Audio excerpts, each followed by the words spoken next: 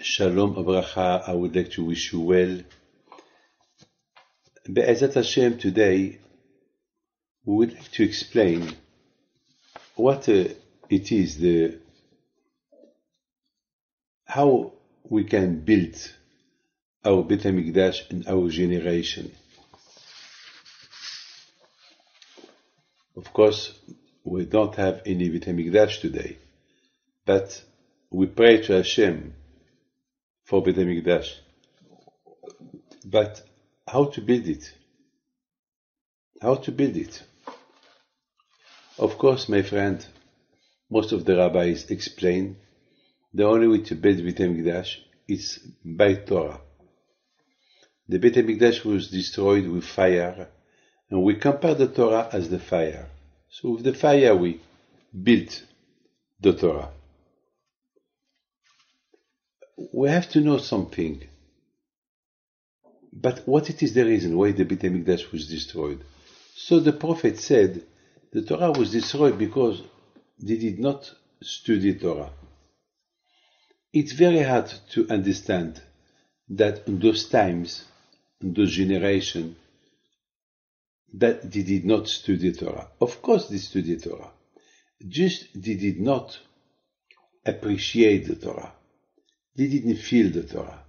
They didn't feel the beauty of the Torah. You know, there was uh, somebody that uh, there was somebody that he came to Rab Steinman and he asked him. He told him, "I don't feel when I study, I don't feel the pleasure to study." He told him, "Well, unfortunately, if you don't feel, because there is a problem. Maybe you have some spot in your mouth." He said, "You know, children, they love sweets, but the only time that they don't like sweets when they have spot in their mouth. So the sweets hurt them. They, they cannot enjoy the sweet if they have spot in their mouth. So he told him maybe you speak lashon hara, maybe you have a bad, you don't use good your language, so that's why you don't feel uh, you don't feel the, the Torah, you don't feel the pleasure of the Torah. So my, my friend, the Beit HaMikdash was destroyed because I have to tell you something. The pro, David HaMelech said, עומדות היו רגלינו בשערי ירושלים. ירושלים הבנויה. שבטיה עדות לישראל, כי שמה ישבו, אקצטרה אקצטרה. David HaMelech said that the Bnei Israel,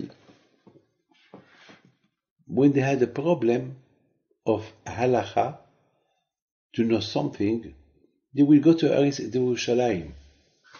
I mean, in Yerushalayim, they will, there is their Kohanim that they will ask them for the halacha.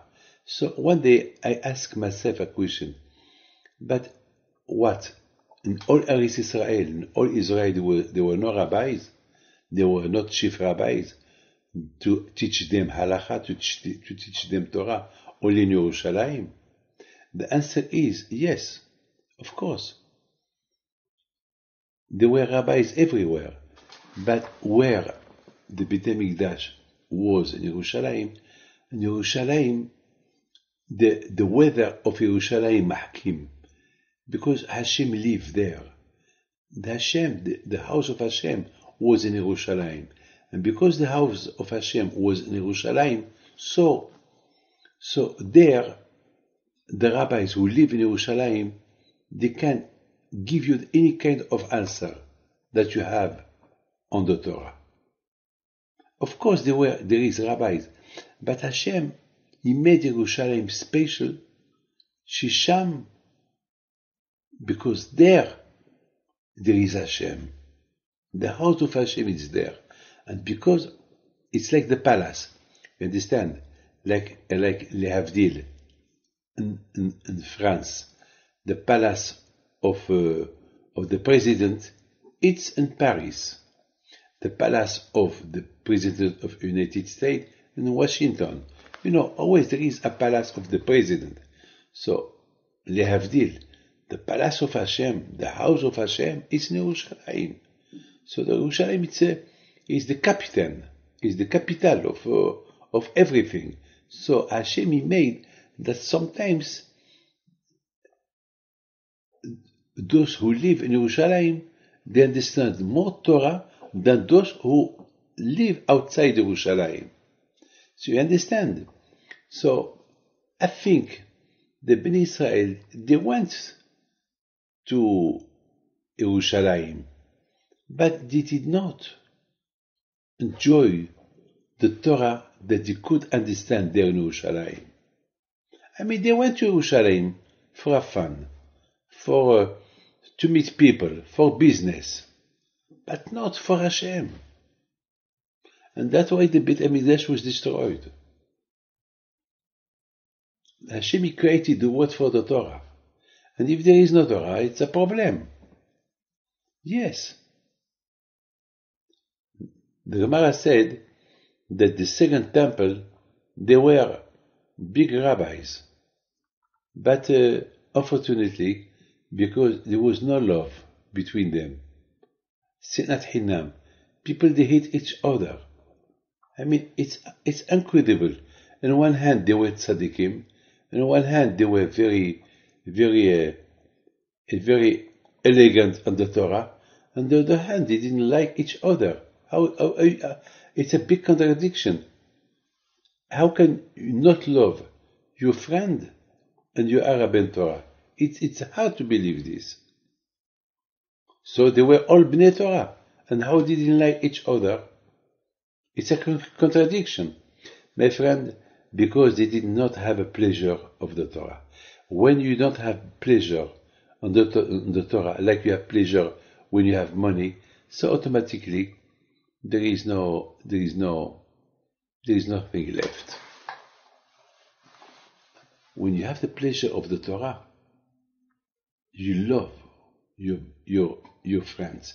I would like to tell you, one day Rav Shach Shalom, there was a boy who came. Uh, if I don't remember, if I remember, there is a, Rav Moshe Reichman Alav Shalom. He was very, very close to Rav Shach. One day he came to Rav Shach, and uh, Rav Moshe Reichman, he was a big supporter in the Ponevezh Yeshiva. And one day he came to Rav Shach, and the same moment there was a a, a man with his son who came to see Rav Shach. Now, Eh, that man, he told Rav Moshe Reichman, please do me a favor. I know you are very close to the Rav Shach. If you start to talk to him, it will take hours. I want only a few minutes. I want just a bracha from from Rav Shach for my son that he don't understand well the Gemara please, just so Rav Moshe Reichman accepted. He said, okay, you can go ahead before me. So he entered 15 minutes, half an hour, two hours, three hours. Rav Shach with the baby, with the boy. And the Rav Moshe Reichman, he came to Israel from America, from Canada only for a few hours to see Rav Shach and then go back to, to Canada. What's going on inside? After a few hours, Rav Shach he came out with the, the, the father and the son and his son, and they were all smiling. So Rav, Rav Shach Shalom, he asked Mr. Reichman, Rav Reichman, I'm sorry for what I did to you. He said, but tell, please tell me, what happened inside? I mean, I don't understand what you did for three hours with that boy. He said, that boy, he came for a bracha, that Hashem will help him to understand. But even if I give him the bracha, it would not help. I saw that the problem that he don't he, don't have the, the, the, the pleasure to study the Torah. So I give him the, the pleasure. I had to study with him.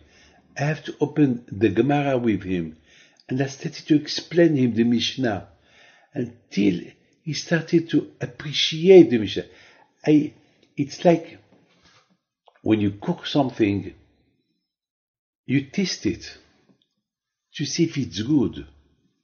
And if there is something missing, so you add what you, what, what it needs. So that boy, I saw that he, he, he, he studied Torah, but he understand, but he don't have the pleasure. And because he don't have the pleasure, so there is never will, never will understand it, never will appreciate it. So I had to give him the, the pleasure. I had to, to give him, to teach him how to feel the, how to learn, how to study, how to appreciate. And after three, three hours, I saw that he was very happy. Now he can go. Like a train. Once the train goes, he go. He don't stop. He go. Oh, he will not make a mistake. My friend, that why the Beit HaMikdash was destroyed. So how can we rebuild Beit HaMikdash an our generation, to repeat an Beit HaMikdash uh, in our generation, it's only through Torah. And that was the Alav Shalom, the Ran said, from the Megillat Setarim of Rabbi Yonah. שבוודאי oskim hayu בתורה תמיד. Of course, always they did study Torah. But the Torah was not uh, valuable in their eyes. It was not valuable. They did not value the Torah. So now, and I, I, as I explained you, how you value the Torah, how you value the Torah. You value the Torah only when you repeat it, you repeat it, you repeat it, and to try to understand it. To try to understand it. I mean, you understand, this, this appreciate, and because they did not have this, so the Beit HaMikdash was, uh, so of course, if you don't appreciate the Torah, so all the mitzvot that you do, you do them with, with, with no appre- you don't appreciate them. So the Beit HaMikdash was destroyed. Today, my friend, Baruch Hashem, today people, they learn Daf Yomi. Every day, people learn. But I saw that only few people really appreciate the Daf Yomi. The Daf, the page that they read every day. A lot of people, one did they, they do it, When did they don't do, they don't do it, When did they miss it, When, one day they came uh, half an hour, and uh, uh, you understand. I mean, I mean, to appreciate the, the Daf Yomi, you should not miss a minute of it. You have to fix a time, and by fixing the time, you should you should not stop. When if you have an appointment with the with a with a with a doctor, a big doctor, I mean, we not miss the appointment. So when you have an appointment for Daf Yomi to study a Daf, you have to respect the, the time. You have to respect the hour. Imagine you need a mortgage from the bank and you've been waiting for two months for the, the appointment with the, and they give you an appointment. You will not miss the appointment. So the same with the, with the appointment that you have, that you fix to study Torah, you should not miss it. And if you miss it, it's a problem. It's a problem if you miss it. So my friend, if you don't miss it, that means that you enjoy it, that you love it. Unfortunately, the Beit HaMikdash was destroyed because they did not appreciate the time that they fixed to study Torah. And that's why the Beit HaMikdash was destroyed. So the reparation is to be more strict and the time that you give yourself for the Torah. My friend, sometimes people they may come to the synagogue only for a, not for a fun because they are used to to come because they you know it's like a robot they wake up in the morning they came and after they sit for Daf Yomi it's like a robot no you have to renew yourself yourself you have to wake up yourself you are not a robot you have to wake up yourself to come to pray you You have to wake up yourself to come to study Torah. Not as usual. No. No, it's, uh, it's, it's because you feel it. You come to pray not because I'm used to come to pray, because it becomes it's become like a a, a minhag, you know, a custom to come. No, you, you should feel it. My friend, I remember one thing,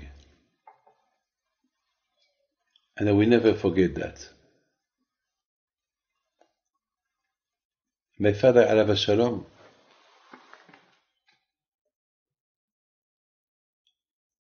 every Friday, every Friday, he will help my mother and the house, Lichvod Shabbat. And I tell you something. I am now 72 year old. I do that every Friday. And if I do that every Friday, so that means every Friday in my mind, I think, I imagine, and I see, I remember what my father was doing. And I do the same. And because I do that, that means that my father, he did it for Hashem. I mean, there was no obligation to do what he did, to help my mother. My mother, she had somebody who helped her. My sisters, or sometimes there was somebody, a woman that she used to come to help her. But my father, he would, he wanted to do that for the mitzvah. And the proof that I do that today and the proof that I do that today, so it's because it's because my father did that Lishem Shamayim for HaKadosh Baruch Hu.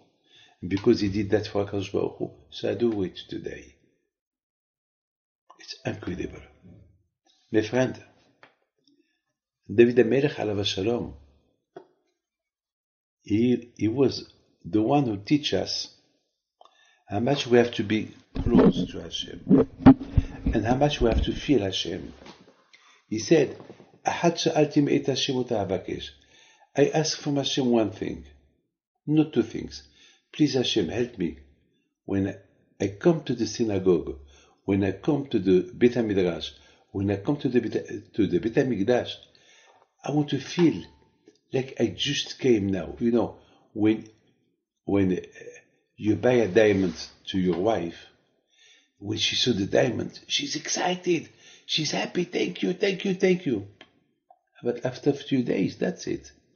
Mm-hmm. She will not tell you thank you anymore. That's it, because she, she got used to it. That's it. She forgot.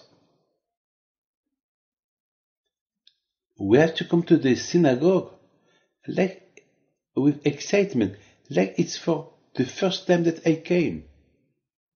I should not feel that, uh, well, like yesterday, like the day before, like every day, like usual. No. So you will not feel Hashem. I asked somebody, do you feel Hashem? He, he answered me, and your rabbi, you feel him? I said, yes. So he told me, Rabbi, can you tell me why, why I don't feel it like you feel it? So I told him, well, the difference between you and me, I don't know what it is the difference. But one thing I know, that I do my best to feel Hashem. I don't disconnect myself from HaKadosh Baruch. I do my best to be all the time, to look for Him. When I look for Him, He appears. I would like to tell you a, a, beautiful story. Yesterday, a woman came to see me and she told me, Rabbi David, Baruch Hashem, all the tefillot with the zichut of your grandparent for my family, they come through. Now I have another problem. I said, Madam, now that you know that Hashem answered my, my tefillah, so now you have to pray. Don't be like a perroquet. When you need something, you go to the rabbi to ask him for a bracha. You pray, you. Pray. Don't get used to, to come to me every time. Now, now that you know that Hashem can answer. So, so you pray to Hashem. Pray to Hashem. And she looked at me. She said, ah, so, but I would like you to pray. I said, Beseder, I'll pray. But don't forget, don't forget, you must pray too. You must pray. You know, my friend, there is a prophet who said, lachem lirmos hasarei. HaKadosh Baruch Hu, he told the prophets to tell the Jews, enough, I don't want you to come to the Beit HaMikdash anymore. I don't understand. Hashem, you want us to go to the Beit HaMikdash. Why Hashem doesn't want us now to, to come to the Beit HaMikdash? Why you complain? The answer is, Hashem is not happy. Hashem is not happy that we come to the Beit HaMikdash only for, for fun. If we come to Beit HaMikdash, we come to the Beit HaMikdash to feel Hashem, to pray to Hashem, not just, uh, well, I came, like usual, like, uh, like I do. No, you have to feel Hashem.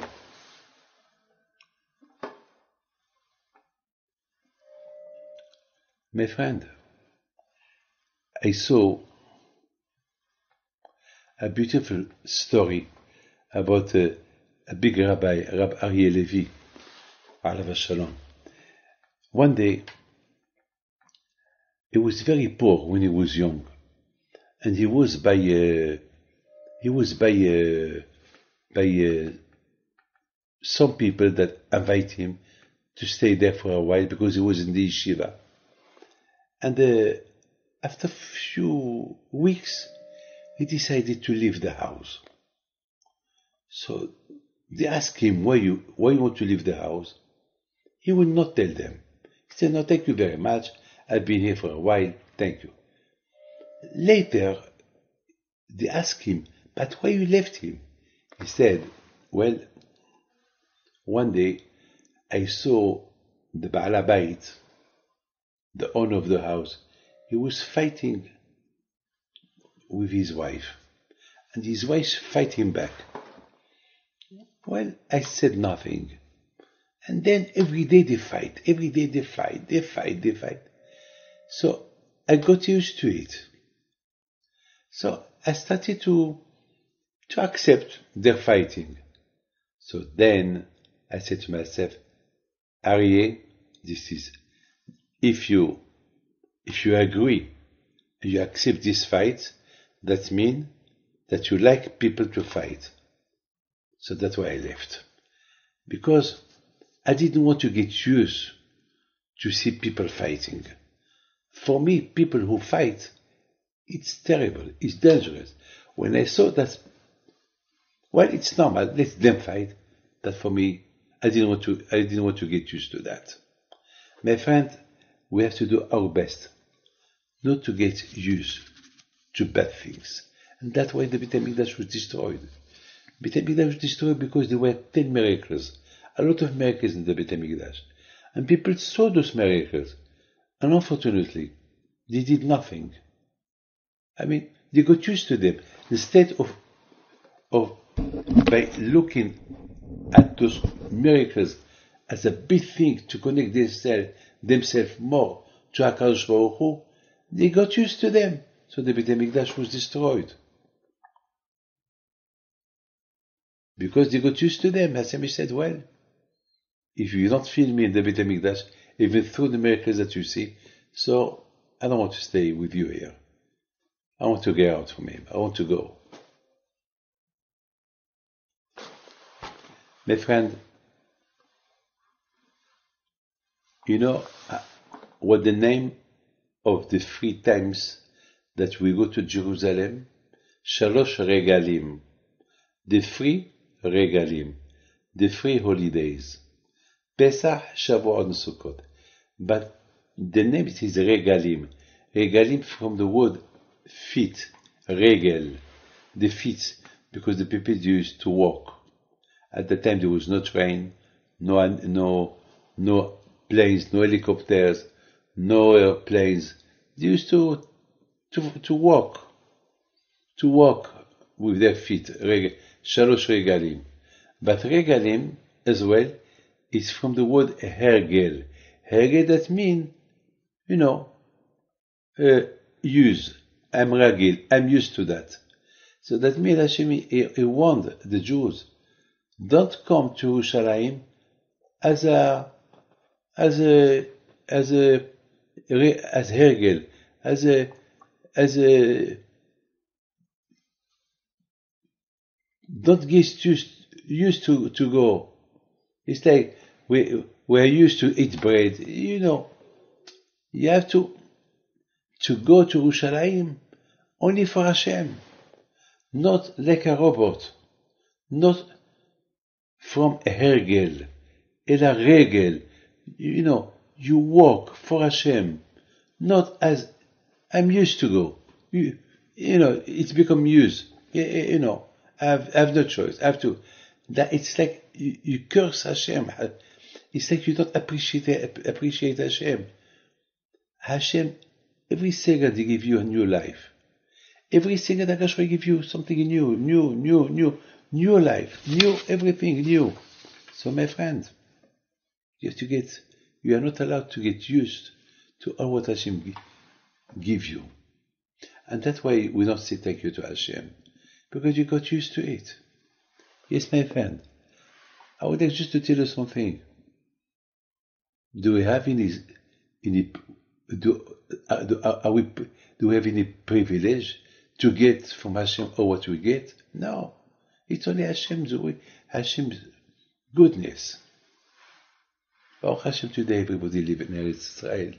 How much we have to appreciate, say thank you to HaKadosh Baruch Hu. בעזרת השם, we pray to הקדוש ברוך הוא to see משיח צדקנו במהרה בימינו, אמן כן רצון, השם bless you. תודה. Don't forget my friend. That's why once a year we sit on the floor. Never we sit on the floor, only when we lose somebody.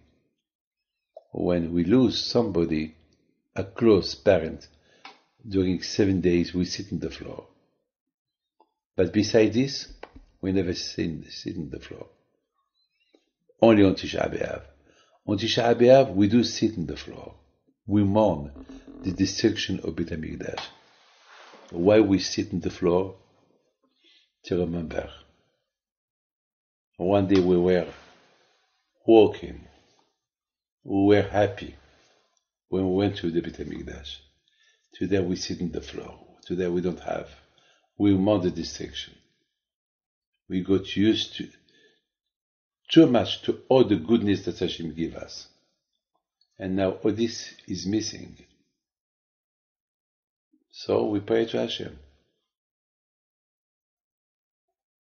to bring back the Beit HaMikdash. Be'ezat Hashem. What is very important is not to get used to the life, to the spiritual life. Every time we do a mitzvah, we do it, it's like with new decoration. My friend, I saw uh, a couple who came to see me, and the man complained, Rabbi, my wife, she spent too much money. Every, every, every summer, she need to buy 10 different clothes. Because in summer there is a lot of weddings, bar mitzvot, and she need, why she not buy two or three? Why ten? Each one she need to change the, the, the dress. Uh, why? Uh, no, well, uh, I couldn't give an answer. So I looked at the, the, the, lady. I told her, Do you have a reason why you buy 10, 10 dresses? She said, Rabbi, I'm not, it's not nice. My husband is rich. And uh, it's not nice that I will go with the same dress to two bar mitzvah or two weddings. What people gonna say? So I told her, okay, you're right. I said, okay. But uh, try, uh, don't buy them every year. I mean, what uh, you wear this year, well, maybe you will wear them two years. So what was her answer? Yeah, but people take pictures. They will see that two years ago I wore that dress. So for people, I have to change the dresses. So I said to myself, well, that's the way we have to serve Hashem. We have to serve Hashem always new, not the same. Always with new cohort, new strength, new way to, to serve Hashem, but in the good way. Hashem bless you. Thank you. Bye.